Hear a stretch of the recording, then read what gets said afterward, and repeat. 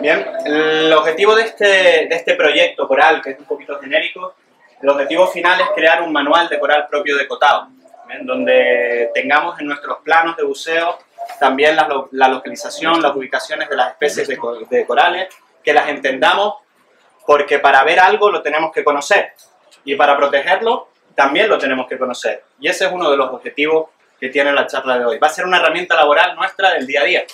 Por eso entiendo que, que nos es tremendamente útil, ¿vale? Lo podemos transmitir a todos los alumnos que pasan por nuestra escuela nuestra pasión por el buceo, nuestra pasión por el medio marino, nuestra pasión por protegerlo, ¿vale? ¿Ok? Bien. En, en este primer paso normalmente se agradece a mucha gente. Yo tengo que agradecer a Pura Vida por darnos toda esta facilidad, nuestra, esta infraestructura, este sitio, ¿vale? Agradecer al departamento de fotos que ha estado currando en el material que se va a mostrar aquí. No todo es el departamento, hay cosas como plásticos que no hemos conseguido sacar, ¿vale? Ya verán que hay fotos de muy buena calidad. Y dentro del departamento de fotos, pues no solamente los que han trabajado activamente, sino los que también han generado parte de esas fotos que también están aquí, ¿vale? Así que les voy a presentar rápido, para que esto sea más de coral y menos de presentación, a Alfonso Peña Quiñones y a de la Torre Velasco, estudiante de, Dive Master Alfonso, Dive Control Specialist, con vistas a ser instructor, a Sergio de la Torre, ¿vale? Les voy a hablar un poquitito de cada uno. Alfonso Peña Quiñones ya lo conocen, lleva ya bastante tiempo con nosotros aquí haciendo el Dive Master. Eh, lo conocemos por el tío que sabe de corales. ¿no? Bien. Pues nada, él lleva, eh, empezó con la cría de corales desde el 2012. Bien. Eh, ha hecho cría y selección genética de camarones de agua dulce. ¿Vale? Y también ha trabajado mucho en el paisajismo acuático, que es la reproducción de, de paisajes del exterior dentro de un acuario. Una cosa apasionante, yo he tenido el placer de, de que me ha enseñado ejemplos y me ha enseñado parte de sus trabajos y, y la verdad que es una delicia. Por otra parte tenemos a Sergio, que es licenciado... Perdona, ¿podemos aplaudir? Sí, claro.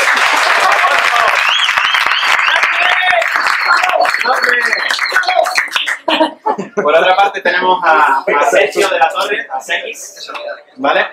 Él es licenciado en Biología por la Universidad de León y por la Universidad Autónoma de Puebla, en México, ¿vale?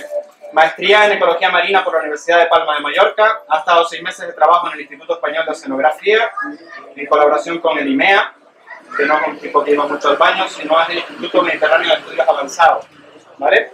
Ha participado en la campaña oceanográfica del verano a bordo del buque, ha participado en voluntariados en la costa de México, en Veracruz, en Yucatán, en Colombia, da charlas y conferencias a bordo de las bucas de la compañía ProDive en la Gran Barrera sobre el papel ecológico del arrecife. Bien, el Sergio también le voy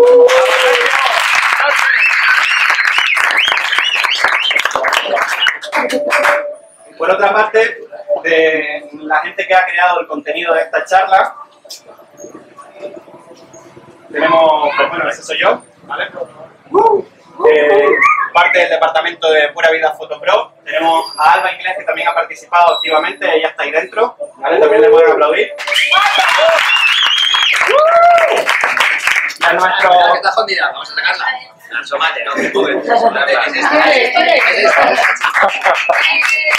bien, y a nuestro gran amigo eterno de Pura Vida, el chico para ¡Bravo! ¡Sí! ¡Dale dentro! ¡Dale dentro,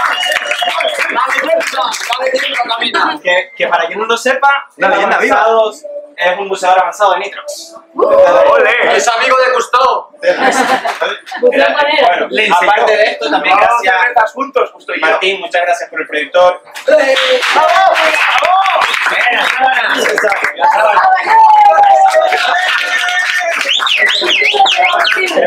Al resto del departamento de Pura Vida Pro, porque aunque no aparezcan aquí, también hay material suyo, ¿vale? Así que, nada, eh, sin más, eh, comienza Sergio, el modelo de charla, va a empezar un bloque Sergio, bien, es un bloque en donde no hay preguntas, si tienen alguna pregunta, levantan la mano, Narcis y yo lo apuntaremos, después habrá un turno de preguntas, porque normalmente esas preguntas se solucionan a lo largo de la charla, ¿vale? Después va a haber otro bloque en donde, en donde hablará Alfonso más de categorías, más de em, clasificación de corales, ¿bien? Y al final un bloque chiquitito donde vamos a hablar cuál es la situación actual del arrecife en el mundo y qué es lo que podemos hacer con él, ¿vale? Así que, bueno, disfrútenlo. Esto es una herramienta laboral que hemos traído a la puerta de la casa, utilícenla, aprovechenla, Bien, y, y nada, Y una oportunidad única.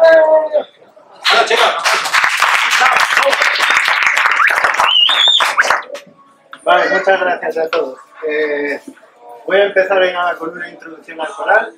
Los corales son animales, llevan 550 millones de años en nuestro planeta, ¿vale? Son de los más antiguos que hay. Eh, a pesar de que solo representan el 0,1% de toda la superficie oceánica, albergan el 25% de la vida marina, ¿vale? Hay como 9 millones de especies distintas asociadas al coral. ¿Vale? Eh, para que para que el coral prospere, florezca, se tienen que dar unas condiciones que sean aguas tropicales, bien soleadas, poco profundas y con muchos nutrientes, ¿vale? Vamos a ir punto por punto ahora, solo es para haceros una pequeña introducción. Y. Un poquito más alto. Vale. Vamos a ver qué nos aportan los, los corales a nosotros, como partes de la Tierra, como habitantes del planeta Tierra, ¿vale? Cuando hablamos de lo que nos aportan los corales sería estúpido poner términos económicos, hablar de precios, uy, nos da tanto, tanto, tanto. Es un ecosistema, es de mucho valor, nos está creando suelos, nos está creando comida, nos está creando empleo. Vamos a enfocarlo como algo de valor, no como algo que tiene un precio, ¿vale?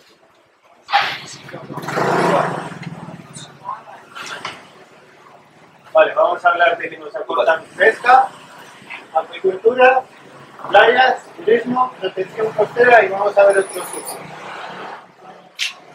Primero la pesca. Los arrecifes de coral se han utilizado toda la vida como fuente de alimento, ¿vale? Al principio se obtenían las cosas manualmente, ahí tenemos erizos de mar. Eh, también luego cuando fuimos evolucionando creamos lanzas, creamos redes artesanales que se lanzaban y con el peso se unían, se capturaban los peces. Cuando fuimos avanzando en la tecnología, nos sumergíamos en el agua y creábamos trampas para los peces. Poníamos redes y mandábamos todos los peces para allá. Luego ya cuando fuimos un poco más listos, creamos los barcos. Aquí he puesto un barco típico pesquero de Cotao. Hoy en día lo podríamos confundir con un barco de buceo. Bueno, son los mismos. Lo que hemos sacado de alimentos siempre han sido grupos equinodermos como los erizos, moluscos, que pueden ser los pulpos, salamares, eh, almejas, crustáceos, langostas, gambas y un montón de peces. Otra de las cosas que nos aporta el coral es la acuicultura.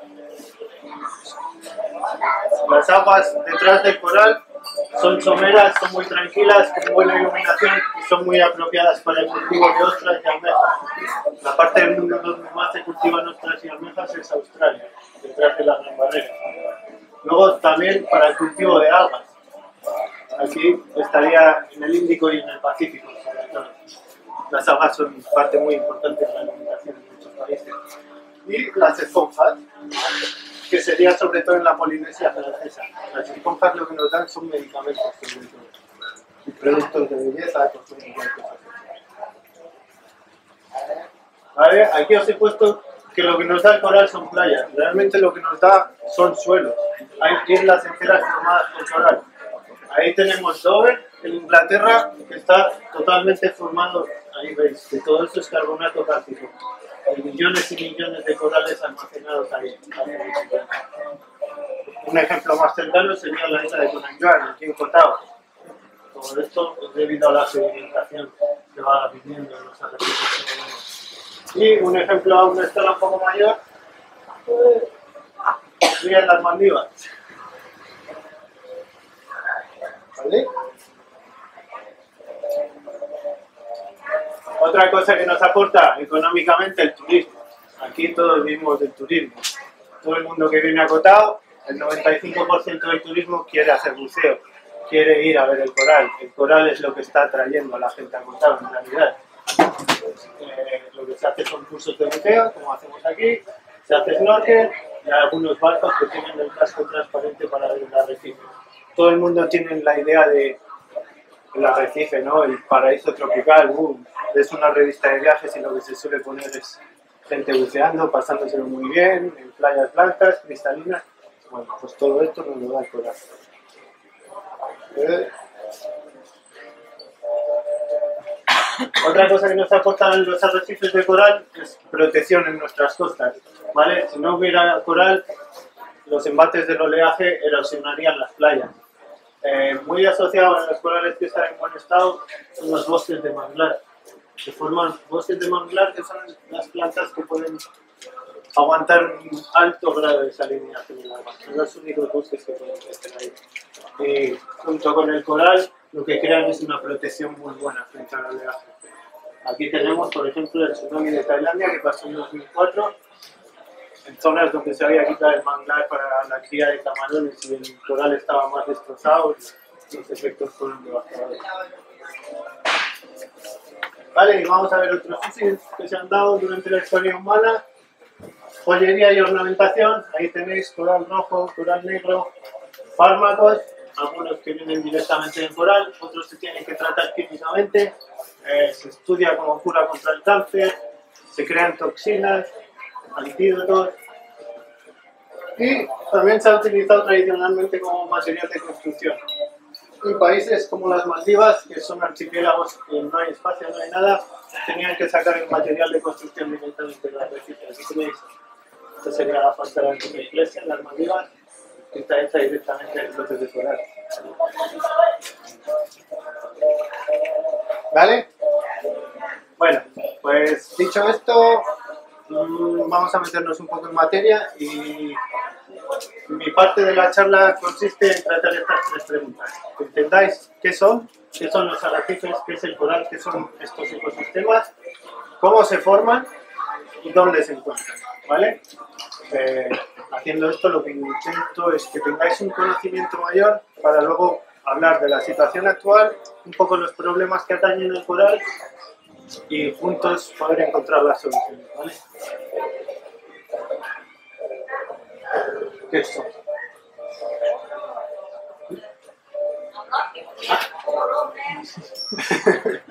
Eh, vale, los corales son animales muy simples, no tienen ni tan siquiera un sistema nervioso central, obviamente no tienen respiratorios, escritor. Lo que tienen son es una red nerviosa. Tienen neuronas, no es un sistema nervioso central, no está todo en un sitio como vosotros en el cerebro, tienen solo una red de neuronas. Son animales diblásticos, lo que quiere decir que cuando se forma la plánula, la larva del coral, la hoja embrionaria, nada más presenta ectodermo y endodermo. Son las dos capas que van a formar todo, todo el cuerpo del coral, ¿vale? Formarían el tejido, la parte que rodea, el esqueleto y aquí tienen en la larva un blastopolo, que es lo que va a formar la boca, que también al tener simetría radial solo presentan boca y solo tienen un orificio. No tienen lo mismo que no ¿Vale? Todos ellos, todos ellos son animales acuáticos, el 99% son marinos y hay un 1% que han Y están ahí los minocitos que vamos a hablar en la siguiente diapositiva más de ellos porque es lo que le da nombre al, al grupo. subir un poquito la voz. Todas formas, veo gente detrás de pie. Aquí hay sitio, ¿eh? Aquí delante hay dos bancos, hay sitio si, si queréis venir.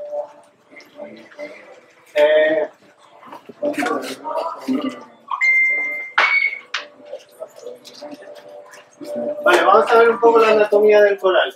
Eh, imaginaos una medusa los corales son del mismo grupo que las medusas. Imaginaos una medusa puesta boca arriba. Sería como esto, ¿vale? Aquí estaría el cuerpo de la medusa y aquí los tentáculos. El pólipo de coral, que es el individuo, es más o menos lo mismo, ¿vale? Lo que tienen son unos tentáculos del animal, que es lo que utilizan para captar el alimento, a través de unas células urticantes, como las medusas. Y todo el animal, todo el animal está lleno de células que contienen las zooxantelas. Las zooxantelas son las algas que viven en simbiosis con el coral. Las zooxantelas son lo que realizan la fotosíntesis, tienen una alimentación autótrofa. A través del CO2 y de la energía del sol pueden convertir estos compuestos inorgánicos en materia orgánica, en azúcar, ¿vale? Destacar que tiene una parte central, que sería el mesoglea, formada por, por eh, células calciformes, que es lo que les permite construir el esqueleto, la boca llana, ya os he dicho que es, lo mismo. Cada uno de estos tentáculos tiene asociado una cavidad gástrica, ¿vale? Entonces lo que hace el pólipo es atrapar el alimento, lo lleva hasta la boca, lo ingiere, lo digiere y luego lo tiene que expulsar. Al tener el mismo orificio de boca llano, no es como nosotros, que puede comer y seguir comiendo y va todo por abajo. Aquí tiene que comerlo, digerirlo y sacarlo. ¿Vale? Entonces, por eso es muy importante la simbiosis con las algas. Es lo que le da un 90% de la energía. ¿Vale? Y aquí abajo estaría el esqueleto, el esqueleto calcáreo, que cubriría por aquí también. Cuando ve que las condiciones no, no están buenas, no son favorables, lo que hace el pólipo es retraerse dentro del esqueleto. ¿Vale? Y el tenosarco sería la parte que une todos los pólipos de la colonia. Los corales son organismos coloniales, lo que quiere decir que está formado de millones y millones de pólipos, ¿vale? Aquí os pongo para que veáis el nidocito, que son las células urticantes con las que atrapan el alimento. Es una célula muy sencilla, solo tiene un núcleo y esto es una válvula gigante donde tiene esto. Cuando rozas esta parte que es nidocito, explota y sale. Es lo mismo que en las medusas, es exactamente igual. Es lo que le da el nombre al grupo, ¿vale? Y estas serían las algas que tienen dentro, las torsantelas. Las torsantelas pertenecen al grupo de los dinoflagelados. Eh, son el elemento principal del fitoplancton. Es el, oxígeno que hay en el mundo es gracias a estos y a otro grupo que son las diatomeas. ¿vale? Ya veis que son organismos unicelulares, muy sencillos. Mm, No están dentro del grupo de los animales ni del de los vegetales, porque lo mismo pueden hacer la fotosíntesis que pueden captar el alimento en estos sitios. Entonces se ha metido dentro de un reino aparte que sería el de los protistas. ¿Vale? Conocéis, todos los conocéis a los dinoflagelados. Los conocéis, además de por la simbiosis coral, porque son los que dan luminiscencia en el agua. Y no sé si habéis oído hablar de las mareas rojas también, que causan intoxicación. Cuando comes mucho marisco, mucho marisco a veces te dicen, cuidado la marea roja. ¿Vale? Entonces, el pólipo lo que es es un holobionte, no es un simbionte. No es solo la comunidad de la parte animal y la parte vegetal, sino que además crean la parte mineral. ¿Vale? Por eso se dice holobionte. Holo, todos y bionte, vida. Las tres formas de vida que se conocían en la antigüedad. Los tres grupos. ¿Vale? Esto cómo se forman. Vamos a hablar ahora de cómo se forman los arrecifes de coral.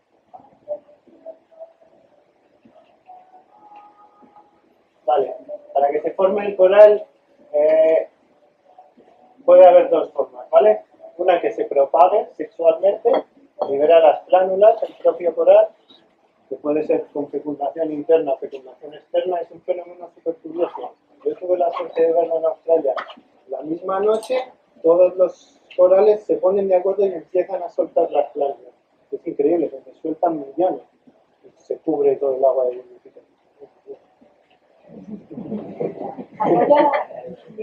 Una fría.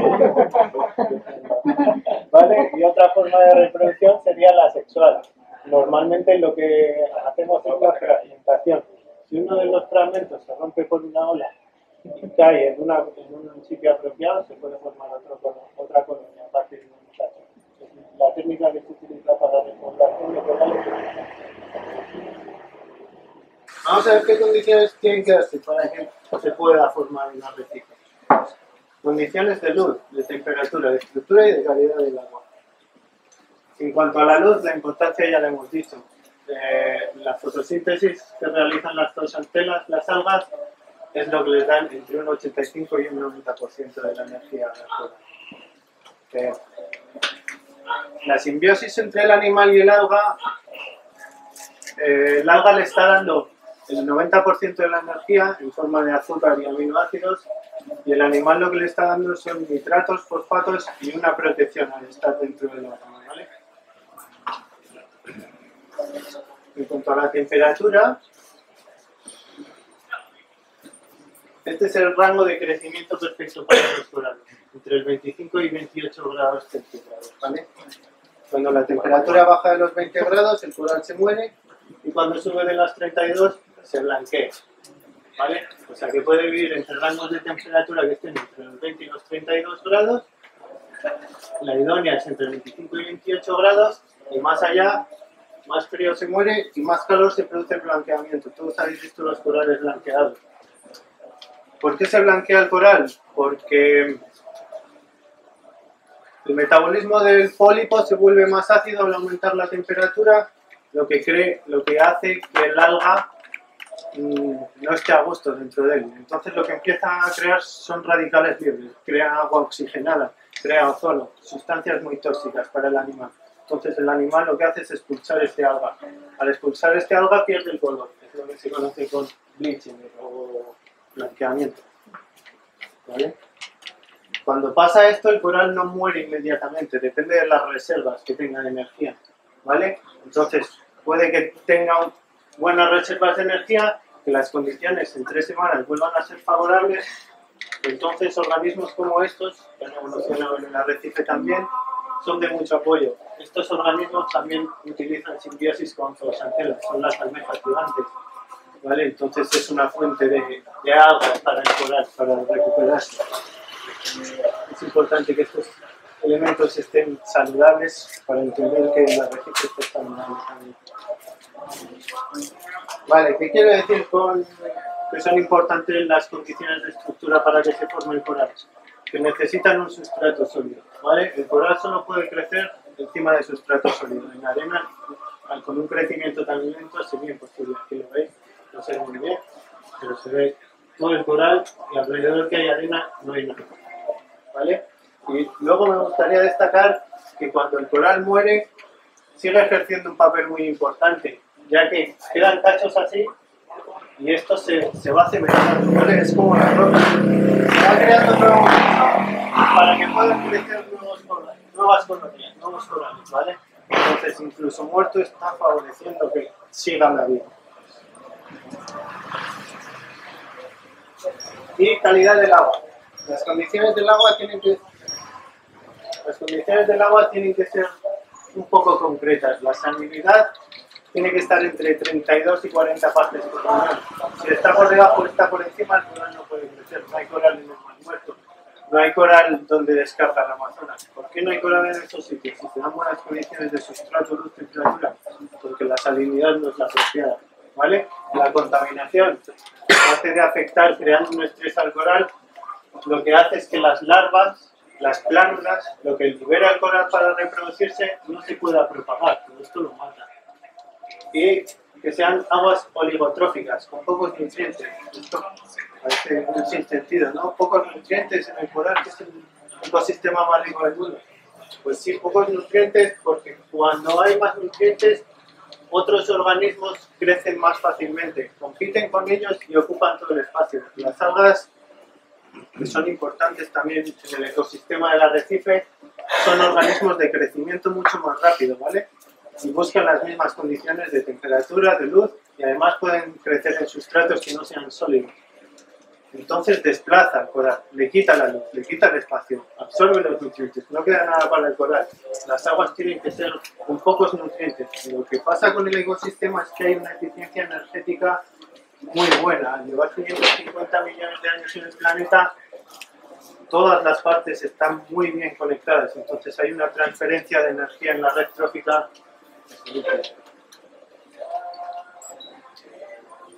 Ay.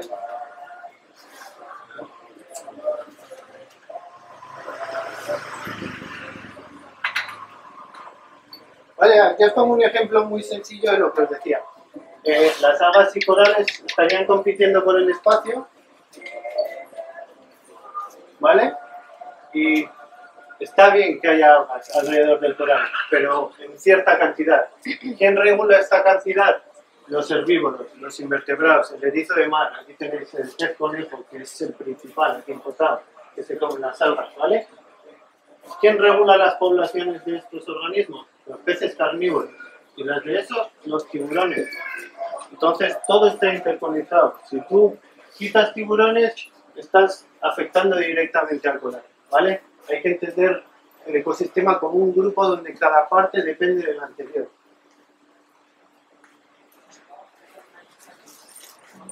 Vale, y ahora vamos a hablar de los tipos de arrecifes que se forman, ¿vale? Tenemos arrecifes bordeantes, arrecifes en barrera, atolones, plataformas y parches. Vamos a ver primero los bordeantes, que sería el caso de Cotao. Los corales crecen alrededor de una isla. En contacto directo con la línea de costa. Eh, el coral llega, se forma, empieza a crecer en altura y cuando toca la superficie del mar lo que hace es expandirse. Todo lo que puede por el sustrato, aquí en Cotao llega prácticamente hasta los ríos, ¿vale? Luego estaría el arrecife en barrera. Hay que destacar la gran barrera coral eh, australiana y la barrera mesoamericana, que va desde México hasta Honduras. Del. Eh, las características de una barrera empezaron como arrecifes una isla, ¿vale? Lo que pasó es que después de las glaciaciones se produce calentamiento global y el nivel del mar aumenta otra vez. Entonces todo el coral se tapa por el agua. Tiene que colonizar más, más, más, más cerca de la costa, ¿vale? Va colonizando islas, va creciendo el nivel del mar y va creciendo en altura el coral. Va formando un nuevo sustrato para más coral. Lo que se crea es una línea que está al borde de la placa tectónica y dentro crea una laguna, que sería el espacio que hay entre la costa y la barrera de coral. Luego hablaremos un poquito más de la. Esto es lo que pasa en la eh, Los atolones, es digamos lo más fascinante porque se forman en medio del océano, vas navegando y igual te encuentras que hay arrecifes en medio del. ¿Cómo puede ser esto? Bueno, pues lo que ha pasado geológicamente es que se ha formado una isla volcánica que se ha rodeado de arrecifes bordeantes, ¿vale? Al pasar el magma se va enfriando y va descendiendo la isla. Entonces lo que se forma es una barrera, aquí veis, bordeantes, laguna, en medio estarían las islas, a veces aquí, si hay mucha actividad de las olas, se forman callos, y cuando sigue bajando, bajando, bajando, se forma el atolón. ¿Vale? Si sigue bajando y al coral no le da tiempo a crecer lo suficiente como para que le lleguen las condiciones de profundidad de luz, se formaría en interior, estaría todo hundido. Y al final se. Aquí tenéis ejemplos de atolones. Por ejemplo, las boraguras, la fosa de las Marianas, que es el punto de mayor profundidad. Vale, y los otros tipos de arrecifes son de plataformas y parches. En estos dos se pone un poco todo lo que no encaja en esas definiciones. ¿vale? Entonces son, están asociados a las líneas de costa, forman lagunas y están alrededor de islas volcánicas. El resto de arrecifes incluirían entre plataformas y parches. Por ejemplo, hay una barrera entre Florida y Cuba, que es súper grande, pero no se la llama barrera de coral porque no forma una laguna estaría dentro del parque.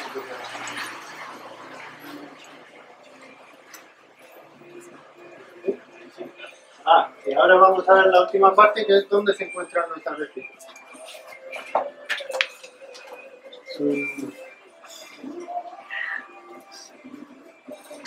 Eh, bueno, aquí tenemos el mapa del mundo. Lo primero que veríamos aquí es que la latitud, la distancia al Ecuador sería lo primero que nos haría ver que todo el coral tiene que estar entre los trópicos, en aguas tropicales. 30 grados latitud sur y 30 grados latitud norte. ¿Vale? Hay ciertas excepciones, ya que el, agua absorbe mucho calor y lo va esparciendo por el globo terráqueo. Entonces podemos encontrar, por ejemplo, en las, en las Bermudas que hay coral, las Bermudas, eh, en Japón, con la corriente de Kuroshio y en el oeste de Australia, que ya serían aguas frías, pero que llega un agua, agua caliente de aquí, la corriente del Niño, y permite que crezca el coral. Eh, ¿Por qué no encontraríamos coral, por ejemplo, en la costa sudafricana? Porque vienen corrientes de agua fría. Todo esto sube para arriba y no permite que crezca el coral. Lo mismo en el sur de Brasil y en Argentina se suben corrientes del Ártico y no permiten que crezca el coral. Aquí en la parte oeste de Sudamérica lo que pasa es el fenómeno del mismo. Se producen variaciones en la temperatura del agua cada 3, 8 años y no da tiempo a que crezca el coral, además que son aguas frías. Vale, entonces lo que tenemos es que el coral estaría en toda esta zona intermedia. Se puede ver claramente que la zona dominante sería desde el Océano Índico hasta la mitad del Pacífico, más o menos. Y que en el Atlántico realmente hay muy poquito.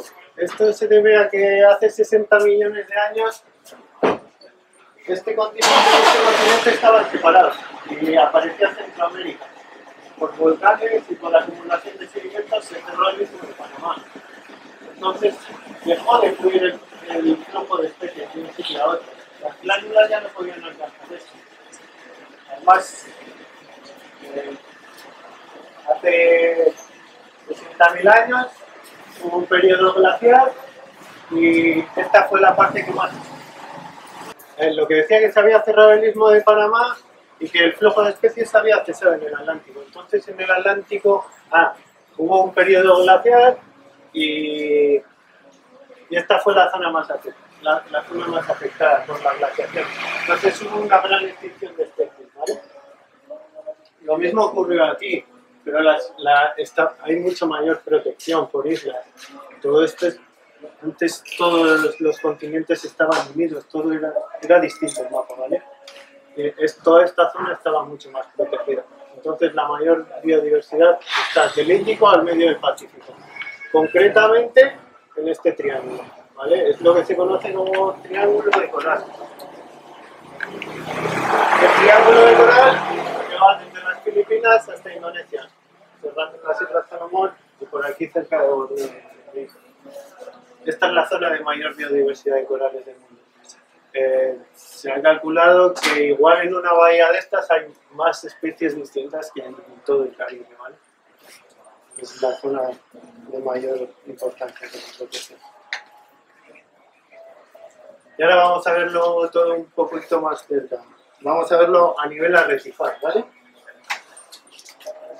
Lo que tendríamos aquí sería la sección del arrecife, aquí estaría tierra. Si el arrecife está bien formado, aquí habría manglares que protegerían de la sedimentación de los ríos, ¿vale?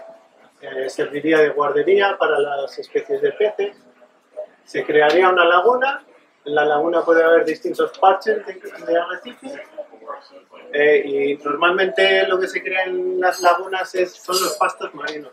Son plantas que son de alimento pues, para manatíes, para tortugas, para un montón de especies de peces que están aquí protegidas, muchos bivalvos, muchas almejas, mucho camarón, ¿vale? Y luego estaría, empezaría el coral, ¿vale? Va- Este sería el la parte posterior del coral. Esta sería la parte que se enfrenta al oleaje, este sería el piso del coral y aquí estaría la pendiente. En la parte posterior es donde se va sedimentando todo lo que rompen las olas. Todo esto va generando nutrientes para esta zona. ¿Vale? Aquí crecen especies de crecimiento más lento, con menos requerimientos de oxígeno.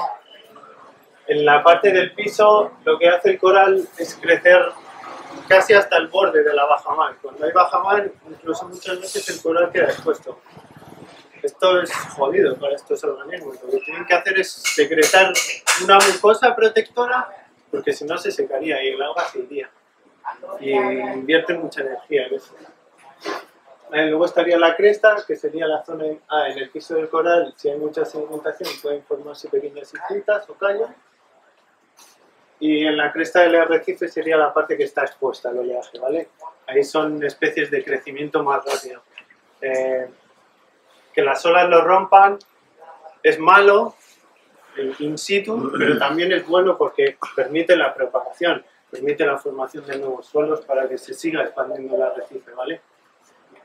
En esta zona se crean un montón de grutas, de sitios para los peces y es la zona de mayor diversidad. Entra mucho oxígeno también por las olas y luego la, la parte frontal, que ya es cuando desciende la placa tectónica, están especies controladas por la temperatura. Todo esto habría un apuente aquí iría subiendo los nutrientes y aquí hay un montón de especies asociadas también. Sobre todo es muy bueno para los peces que tienen muchos nutrientes. Y, y bueno, no sé. eh, preguntadme lo que queráis y bueno.